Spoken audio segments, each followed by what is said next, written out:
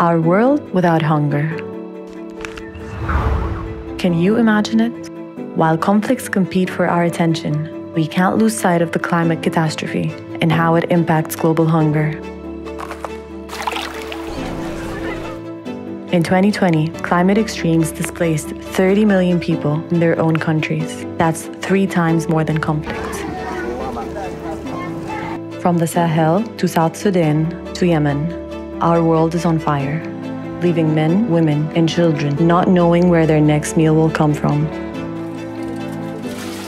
In a 2 degrees warmer world, 189 million more people risk going hungry. Climate extremes also exacerbate conflict as people compete for scarce resources. WFP has effective and scalable solutions for saving lives after climate-related disasters and for changing lives by helping food insecure people prepare, respond, and recover from climate shocks. Taking climate action is essential to end world hunger.